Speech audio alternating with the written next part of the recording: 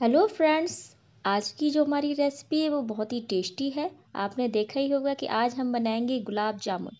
और मैं आपको बताऊँगी कैसे आप इस रेसिपी को बहुत ही आसान तरीके से घर पर बना सकते हैं। तो चलिए शुरू करते हैं।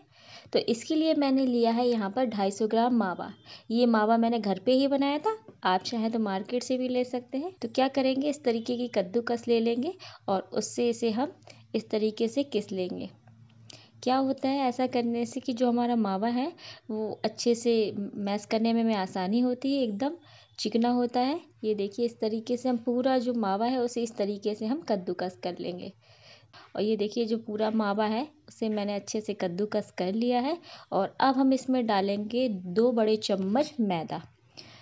तो अब इसमें हम दो बड़े चम्मच मैदा डाल देते हैं। और साथ ही इसमें हम डालेंगे फ्लेवर के लिए इलायची। और अब इसमें हम डालेंगे थोड़ा सा बेकिंग पाउडर। और अब इन सबको अच्छी तरीके से हम मिला लेते हैं। और ये अभी आपको ड्राई सा लग रहा होगा तो यहाँ पे क्या करेंगे कि आप चाहे तो इसमें थोड़ा सा दूध डाल सकते हैं, एक दो चम्मच।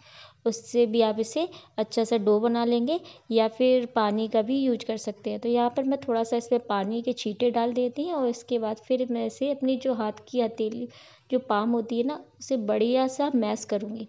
इसे मैश करने से क्या होगा, जो मैं रसगुल्ले हैं, बहुत ही अच्छे बनेंगे। आप जितना हो सके उतने बढ़िया तरीके से इसे मैश कीजिए। जितने ज़्यादा आप मैश करेंगे, उतने बढ़िया हमारे रसगुल्ले बनकर तैयार होंगे। तो बस इन सबको हम इकट्ठा कर लेंगे। ये डो हमारा जो बनकर है, वो रेडी हो गया है और बस इसे हम कम से कम 10 से 15 मिनट के लिए ढक कर छोड़ देंगे, जिससे कि थोड़ा सा ये सेट हो जाए।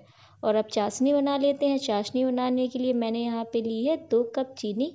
तो दो कप चीनी डालने के बाद इसमें हम डालेंगे दो कप पानी। तो यहाँ पर हम जितनी चीनी डालेंगे, उतना ही इसमें हम पानी डालेंगे।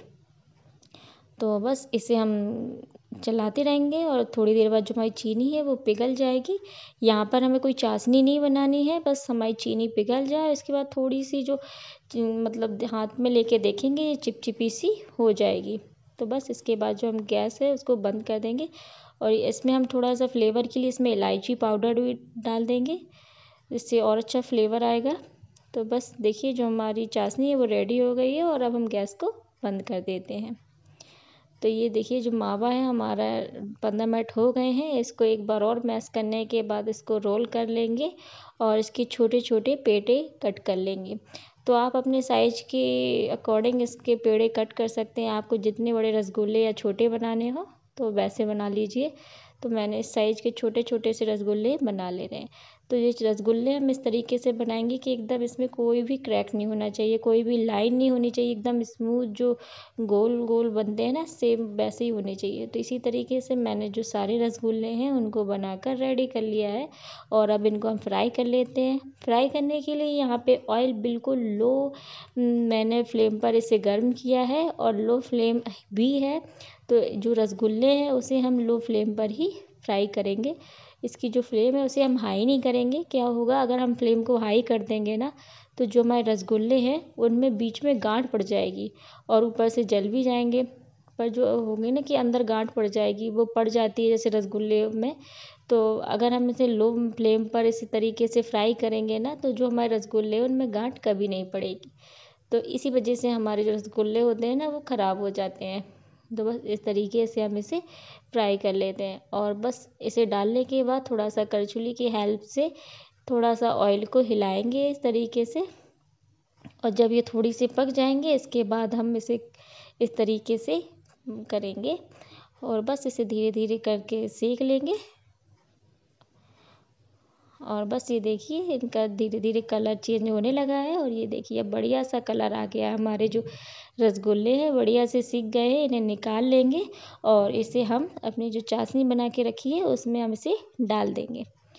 तो चाशनी भी है, वो अभी गर्म है तो गरम गरम चाशनी में इनको हम डाल देते हैं और डालने के बाद इसे हम दस मिनट तक टच नहीं करेंगे, इसी तरीके से चाशनी में पड़े रहने देंगे और दस मिनट बाद इन्हें हम अच्छे से डिप कर देंगे। दूसरी साइड से भी जो बढ़िया सा इसमें जो चाशनी है, अच्छे से एब्ज़ॉर्ब कर लें और बस इसके बाद इन्हें हम सर्व करेंगे। तो लीजिए फ्रेंड्स रेडी हैं हमारे टेस्टी से रसगुल्ले। एकदम सॉफ्ट और मार्केट से भी अच्छे रसगुल्ले हमारे घर पर बनकर तैयार हो गए हैं।